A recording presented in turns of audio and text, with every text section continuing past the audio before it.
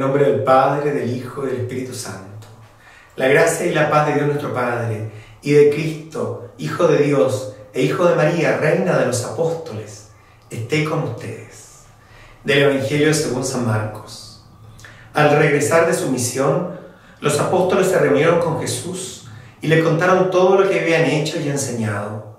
Él les dijo, vengan ustedes solos a un lugar desierto para descansar un poco porque era tanta la gente que iba y venía que no tenían tiempo ni para comer. Entonces se fueron solos en la barca a un lugar desierto.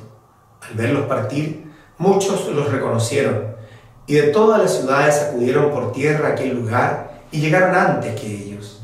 Al desembarcar, Jesús vio una gran muchedumbre y se compadeció de ella porque eran como ovejas sin pastor y estuvo enseñándoles largo rato.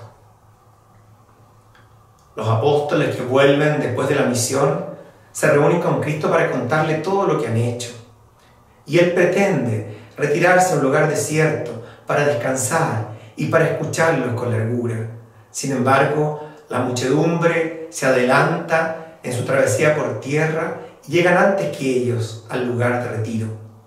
Y al ver esas necesidades y esa multitud, Jesús se compadece de ellos y posterga ese momento de mayor intimidad, de remanso con sus apóstoles, para dedicarse, al igual que los enviados, a atender las necesidades de tantos que están en verdad, también hoy día, como ovejas sin pastor.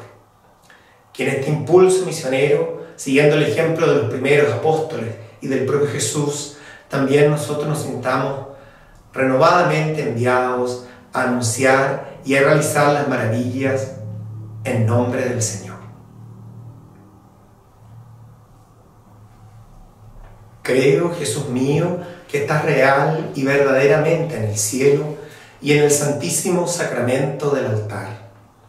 Te amo por sobre todas las cosas y deseo vivamente recibirte dentro de mi alma. Mas, no pudiéndolo hacer ahora sacramentalmente, ven espiritualmente a mi corazón. Y como si ya te hubiese recibido, te abrazo y me uno del todo a ti. Señor, no permitas que me separe de ti. Que le bendiga el Dios que es Padre, Hijo y Espíritu Santo.